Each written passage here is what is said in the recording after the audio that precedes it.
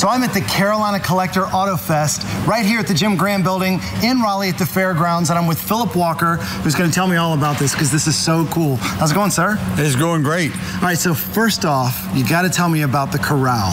Okay, we have lots of cars for sale here in what we call the car corral. And so people looking to buy or purchase uh, collector cars or classic cars, we have plenty of cars here for sale.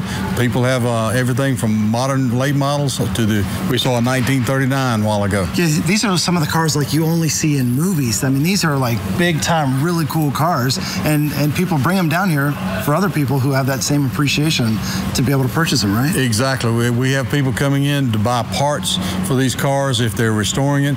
Many cars have already been restored. We also have some project cars here that are either uh, can be restored or, uh, or in the process of being yeah, restored. let's talk about the parts because there's so many guys or, and women who, who tinker a little bit, there, but there's also a lot of people who are really into this and are searching for that one little part.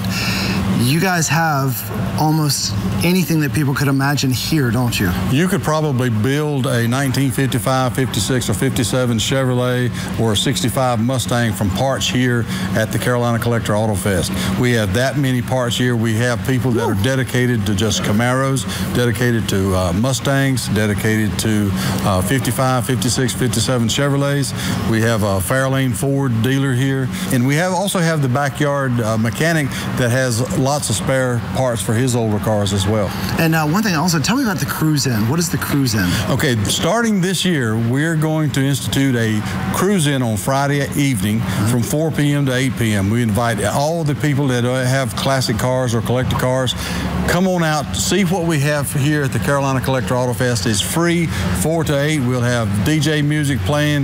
You can walk through the 125 vendors here in the Jim Graham building. This is a 100,000 square foot building. We have it chock full of nothing but parts for collector cars and accessories. This is exciting. Uh, I thank you so much for talking to me about that. Don't forget, if you guys want more information about this, get your tickets. You need to go online to CarolinaCollectorAutofest.com.